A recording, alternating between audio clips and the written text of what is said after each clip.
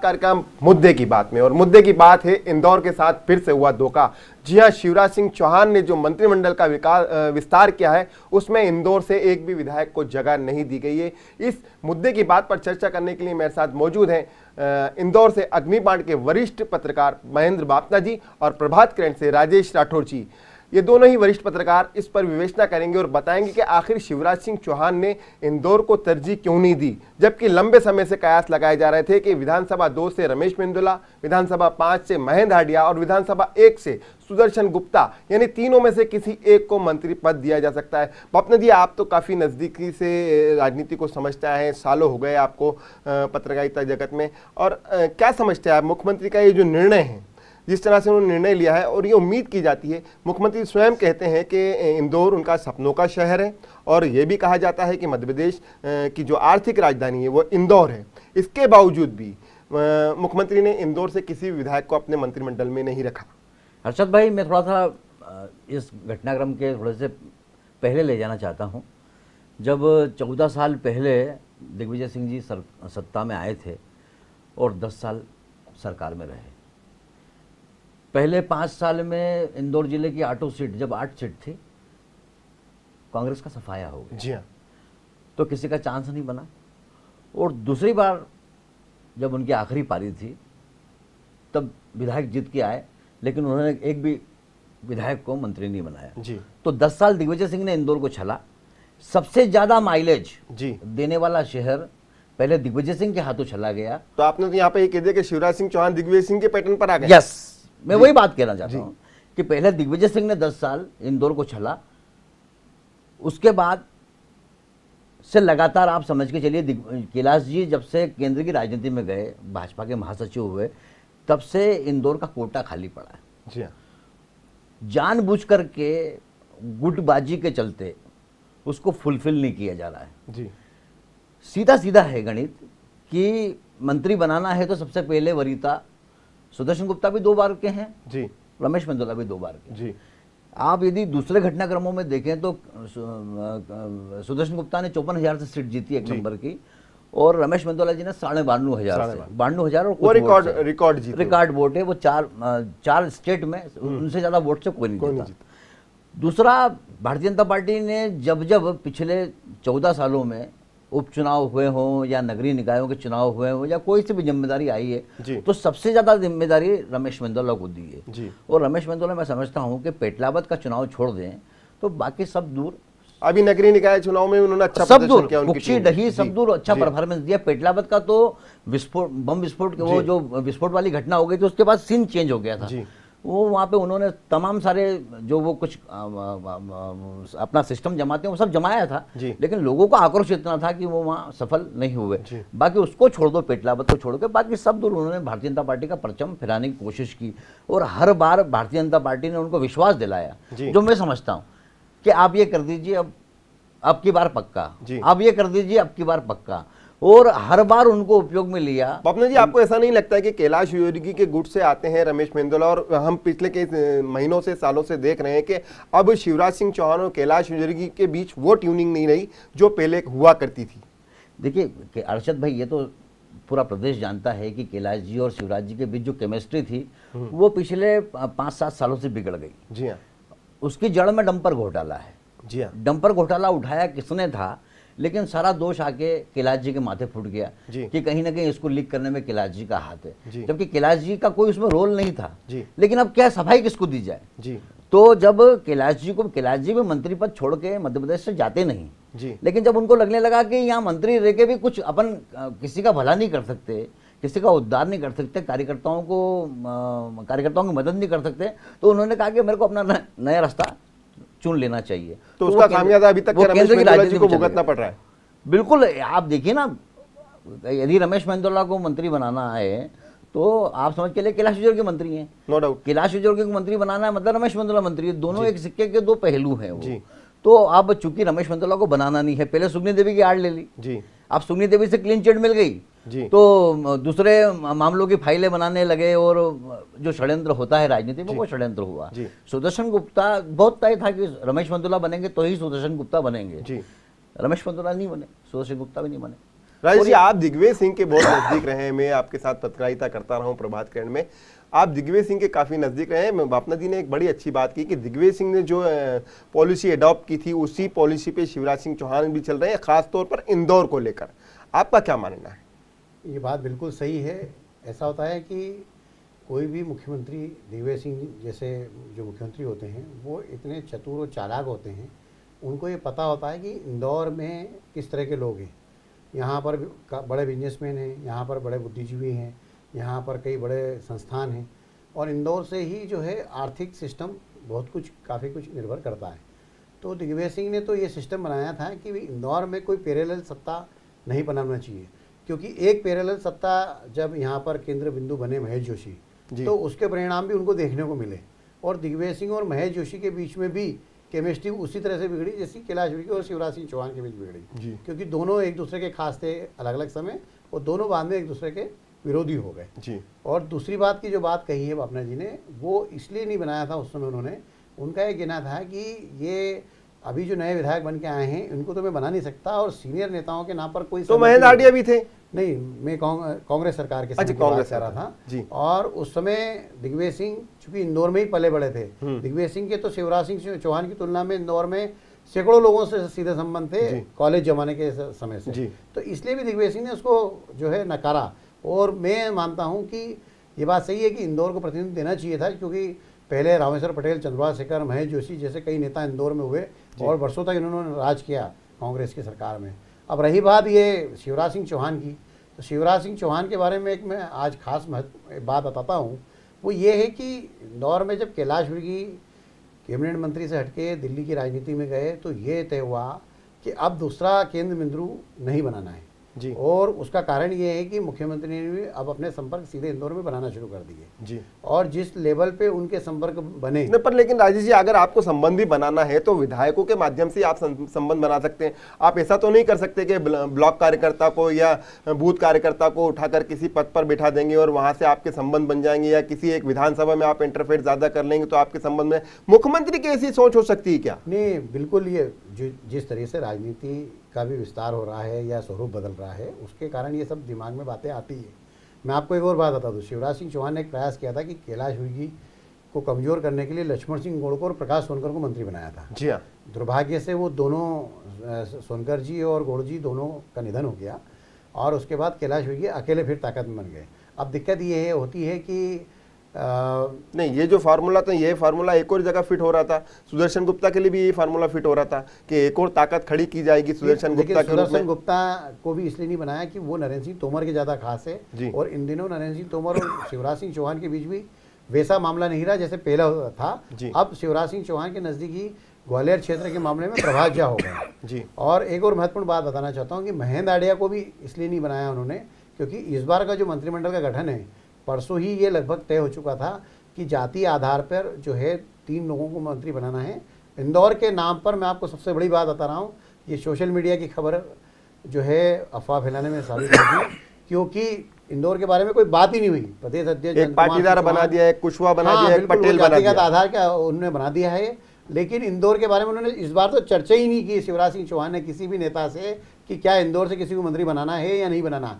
जब उन्होंने प्रदेश उपाध्यक्ष सुदर्शन गुप्ता को बनाया था तभी ये तय हो गया था कि इंदौर से अब कोई मंत्री नहीं बनेगा। जी। और एक और महत्वपूर्ण बात ये कि चूँकि इस बार केंद्रीय नेतृत्व ने अब चुनाव नज़दीक आने वाले हैं शिवराज सिंह चौहान को फ्री हैंड दिया उसका शिवराज सिंह चौहान ने उपयोग किया। जी। हम इंदौर के बासिंदे हैं इसलिए हमें इस बात का दुख होना लाजमी भी है राय जी मैं भी आपके साथ लंबे समय से पत्रकारिता कर रहा हूँ। दोनों वरिष्ठ पत्रकार मेरे साथ बैठे हैं। एक चीज़ में जानना चाहता हूँ हम ताई से बात करें तो ताई लगातार जीतती आ रही है। इंदौर की जनता कहीं ना कहीं बीजेपी का समर्थन करती आ रही है। हम महापौर महापौरों की बात करें तो कैलाश ने जो शुरुआत करी थी महापौर बनने की उसके बाद उमा शशि शर्मा बन गई उसके बाद कृष्णलाल मोगे बन गए आज मालिनी गौड़ है। बीस साल से लगभग नगर निगम पर बीजेपी का कब्जा और ताई का तो लंबे समय से कब्जा है। इसके बावजूद भी ऐसा नहीं लगता संगठन को और मुख्यमंत्री को कि जो शहर बीजेपी माइंडेड वाला है यहाँ से हमारे विधायक जीतते हैं यहाँ हमारी नगर निगम परिषद बनती है यहाँ से सांसद चुनकर जाती है उसके बावजूद भी एक पद एक मंत्री नहीं बना सकते। विश्वास नहीं है मुख्यमंत्री को भाजपा संगठन को। नहीं मुख्यमंत्री के साथ दिक्कत ये है कि मुख्यमंत्री एक तो ताई और भाई के झगड़े में नहीं पड़ना चाहते। मैं एक और बात बता रहा था नहीं अब ताई और भाई के झगड़े तो ताई और भाई नहीं लगता मुझे। हैं इसलिए झगड़े हैं कि ताई चाहती है कि सुदर्शन गुप्ता को बना जी। दें और कैलाश जी चाहते हैं कि रमेश जी को बना दें। जी। और इन दोनों की लड़ाई के चक्कर में महेंद्र आडिया चाहते हैं कि उनको बना दें इन दोनों को हटा के। मैं आपको एक महत्वपूर्ण बात बताता हूँ। मुख्यमंत्री शिवराज सिंह चौहान को जितना हम सीधा सहज सरल मानते हैं वैसा वो राजनीतिक रूप से अब नहीं है। जी। क्योंकि वो भी अब इतने साल तक लगातार मुख्यमंत्री रहने के कारण और उनके अपने संपर्कों के कारण वो भी अब इतने चतुर होते जा रहे हैं ये बात अलग है कि उनकी चतुराई दिखती नहीं। है। वो चतुराई कर देते हैं। जिस तरह से प्रभात झा को प्रदेश अध्यक्ष पद से उन्होंने हटवाया था रातों रात। जी। उसी तरह के राजनीतिक घटनाक्रम वो अब लगातार इस बात के सबूत देते जा रहे हैं। जी। और इससे ये साबित होता है कि शिवराज सिंह चौहान वो नहीं है जो मुख्यमंत्री जब बने थे तब थे। अब लगातार उनमें जो राजनीतिक समझ बढ़ती जा रही है उसका ही ये परिणाम है इंदौर में क्यों बनाए? उनकी इच्छा नहीं है। है, जी मैंने अब जैसे अभी आपके सामने रिकॉर्ड रखा कि सांसद लगातार चुनी जा रही है परिषद बीजेपी की बन रही है विधायक लगातार जितने एकमात्र कांग्रेस का विधायक है वो भी शहरी क्षेत्र से बाहर रहा मैं बाकी सब जगह बीजेपी है। मतलब जो इंदौर शहर है वो कहीं ना कहीं बीजेपी से बंधा हुआ है या बीजेपी को पसंद करता है बीजेपी के नेताओं को पसंद करता है तो ऐसा नहीं लगता आपको कि संगठन को और मुख्यमंत्री को इस तरफ़ ध्यान देना चाहिए था? और आप और हम और लगातार जो नेता है उनके कार्यकर्ता है हमसे जब संपर्क करते हैं तो उम्मीद करते हैं कि हमारे नेता को भी कैबिनेट में या राज्य मंत्री का दर्जा कहीं ना कहीं प्राप्त हो। अरशद भाई असल में इंदौर आप सब जानते हैं कि इंदौर आर्थिक रूप से बहुत मदद करता है जी। प्रदेश की। यहाँ बहुत सारे ऐसा कोई मंत्री नहीं होगा जिसके यहाँ पे अपने सोर्सेस नहीं है। सबको पर्याप्त मात्रा में राहत राशि या मदद पहुँचती है। जी। अब सवाल ये आता है कि जब सबको सबके अपने काम सीधे तरीके से ही हो रहे हैं तो यहाँ क्यों एक नया स्तंभ नया कोई एक और केंद्र एक और पावर सेक्टर क्यों पैदा किया जाए? तो सब यहाँ से माइलेज ले रहे हैं। सब जनता को छल रहे हैं और तय कर लिया सबने कि इंदौर को कुछ नहीं देना है। अब इंदौर को तभी कुछ मिलेगा जब इंदौर की जनता खड़ी होगी। इंदौर की जनता खड़ी नहीं होती। जी हाँ। जितने ही मामले आ गए हैं इंदौर की जनता चुपचाप रहती है। सब सहन कर जाती है। सब सहन कर जाती है और ये सब सहन करने की आदत के कारण ही सरकारें जी। मुख्यमंत्री ध्यान नहीं देते हैं और जब तक ये प्रवृत्ति इंदौर की जनता नहीं बदलेगी सहन करने की तब तक इंदौर को कुछ नहीं मिलेगा। आप देखिए आज इंदौर को मंत्री नहीं मिला। कहीं से कोई आवाज़ है क्या? नहीं एक कहीं से कोई शोर है? ज़रूर है कि बीजेपी कार्यालय पर सन्नाटा ज़रूर सन्नाटा है। चलिए मेरी बात हाँ, सुन, सन्नाटा है। हाँ। भारतीय जनता तो पार्टी वैसे भी रह रहा था जब भारतीय जनता पार्टी कैलाश शर्मा बीजेपी के नगर अध्यक्ष बने बीजेपी कार्यालय में यूँ ही सन्नाटा पसरा भारतीय जनता पार्टी का कोई कार्यकर्ता कुछ बोल रहा है क्या? नहीं कोई किसने कोई प्रतिक्रिया दी है? कोई प्रतिक्रिया नहीं दी।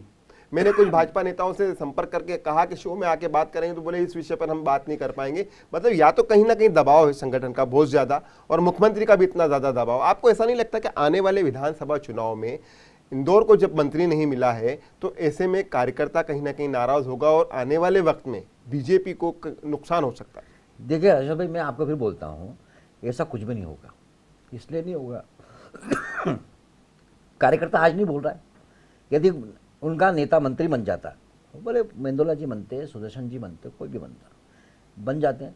तो फ़ायदा किसको होता? कार्यकर्ता को होता। जी हाँ। आज नहीं बने तो नुकसान कार्यकर्ता को है। लेकिन कार्यकर्ता कुछ बोल रहा है क्या? कार्य भारतीय जनता पार्टी का जो अनुशासन है वो अनुशासन कार्यकर्ता को कुछ भी करने से रोकता है। जब कार्यकर्ता ही कुछ नहीं बोल रहा है तो जनता के तो बोलने का सवाल ही नहीं आता। जो। सीधे सीधे प्रभावित पक्ष है कार्यकर्ता वो कुछ नहीं बोल रहा है। तो जनता क्यों बोलेगी? और जनता के पास जनता चाहती है विकल्प। लेकिन आप आप स्थिति आपके सामने है कांग्रेस विकल्प दे नहीं पा रही। आप यहाँ ताकत में है नहीं तो मजबूरी में मजबूरी में भारतीय जनता पार्टी को फिर सफलता मिल जाएगी। यदि कांग्रेस मोर्चा नहीं लेगी तो। जी जी। आज अभी देखिए कांग्रेस के नेता तो एकजुट हो रहे हैं अब लगातार आप देखिए अभी पाँच नंबर में पाँच नंबर के कांग्रेस के लोगों ने एक दिन पहले तय किया कि हम जितने दावेदार है एक मंच पे आके हम्म। एक साथ अपनी बात बोलेंगे और जिसको टिकट मिल जाएगा उसकी सब मदद करेंगे। और चौबीस घंटे में लड़ लिए। आपस में तो आप बताइए कि जनता ये तो देखती है ना कि इनको इनको सत्ता की चाबी देके क्या करना क्या है? तो ठीक है ये खोटे भी हैं तो कम खोटे हैं। जी। ज़्यादा खोटों को देके क्या करना है? इनको भी तो देखा है ना। जी। तो कांग्रेस भी अपना चेहरा साफ़ करे। कांग्रेस नेतृत्व के बारे में अपनी स्थिति साफ़ करनी रही।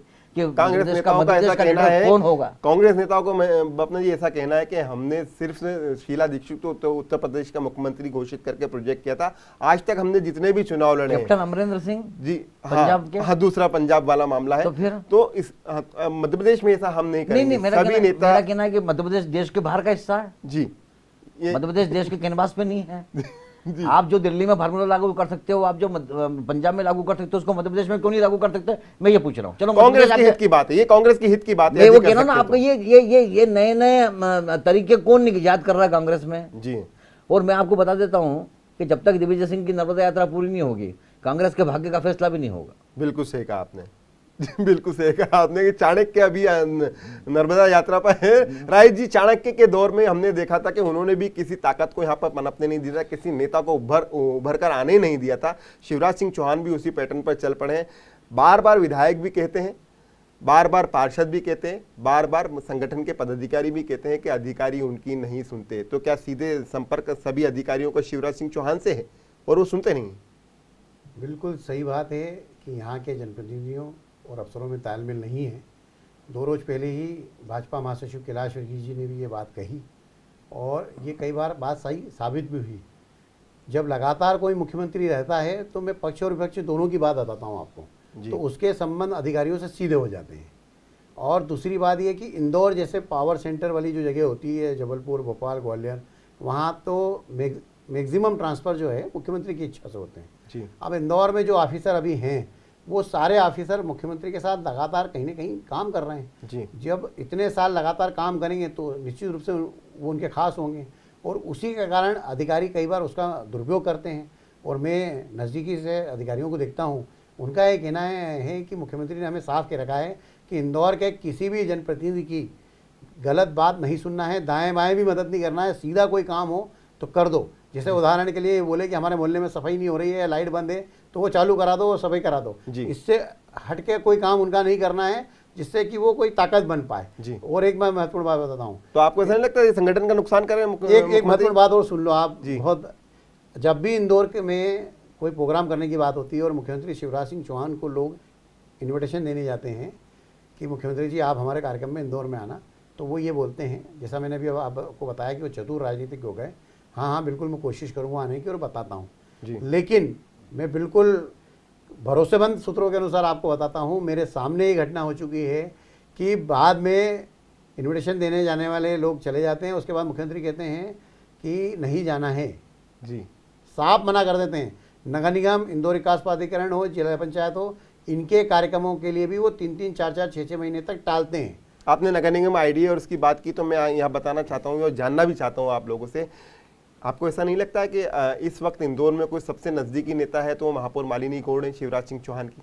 हाँ बिल्कुल सही बात है। कैलाश विगी के विकल्प के तौर पर मालिनी गौड़ को शिवराज सिंह चौहान देखते हैं, ऐसा माना जाता है। क्योंकि लक्ष्मण सिंह गौड़ के निधन के बाद कोई ऐसी ताकत नहीं बन पाई थी। और सुमित्रा महाजन का तो वैसे भी आखिरी चुनाव है, इसलिए जो है वो मालिनी गौड़ को ताकत दे रहे हैं। और आप ये देख भी रहे होंगे कि मालिनी गौड़ को ताकत देने के कारण ही यदि मंत्रिमंडल में उनको नहीं बनाना तो एक कारण उनका ये भी है कि मालिनी गोड़ इंदौर में मेयर विधायक दोनों हैं। अपना काम कर रही हैं बढ़िया अफसर उनके साथ मिले हुए हैं।